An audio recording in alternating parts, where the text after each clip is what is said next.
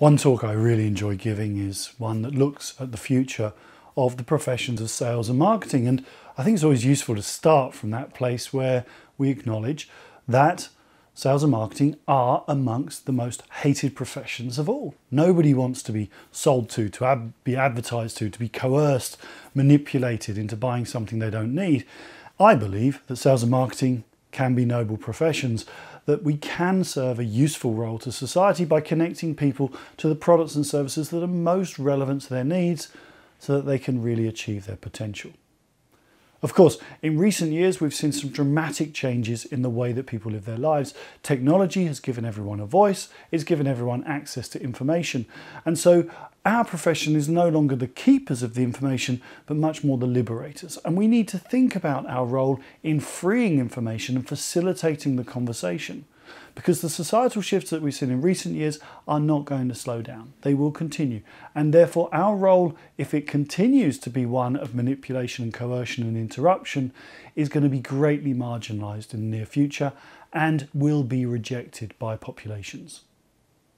So, as we look to the near future of sales and marketing, it's fair to expect that there will be much more personalised, tailored, custom made, real time precision targeted experiences that we will need to create for our customers.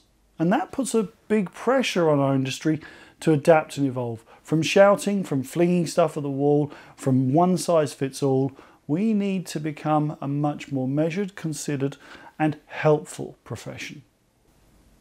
But fundamentally, the skills that we need to do great marketing, the principles that underpin effective marketing, they don't change we still need to understand our customer. We still need to think about how they see the world. We still need to think about what's a relevant interruption, what's the most powerful value proposition we can put forward to people. So those core skills remain valuable, but we also need to layer on top of that an ability to analyze data, to understand audiences, and then to serve them most appropriately on their terms. So, what does this mean for you and me?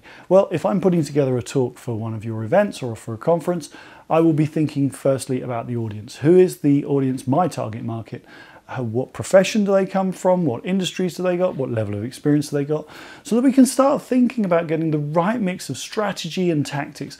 We can think about making things relevant to the industry so that it can be truly inspiring. So we can open up fresh perspectives on where the profession is heading and arm people with the skills and the, and the energy that they need to go away and make the most of their career.